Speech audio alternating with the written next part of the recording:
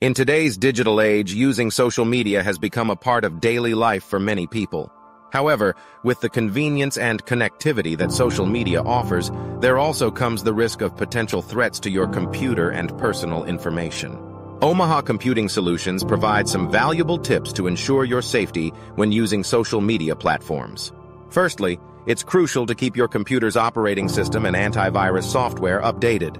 These updates often contain security patches that can protect your device from malware and other online threats that may be present on social media sites.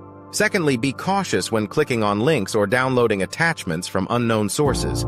These could contain viruses or malicious software that can harm your computer and compromise your personal information.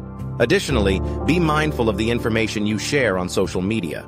Avoid posting personal details such as your address, phone number, or financial information. Cybercriminals can use this information to steal your identity or commit fraud. Furthermore, be wary of suspicious messages or friend requests from unknown individuals. These could be attempts to scam you or compromise your account's security.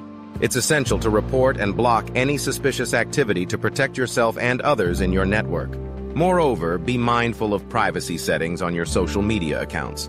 Adjust these settings to control who can see your posts, photos, and personal information. Limiting the visibility of your content can help protect your privacy and prevent unauthorized access to your account. In conclusion, while social media can be a valuable tool for staying connected and sharing content, it's essential to prioritize your computer's safety and your personal information. By following these simple tips from Omaha Computing Solutions, you can enjoy a safer and more secure online experience while using social media.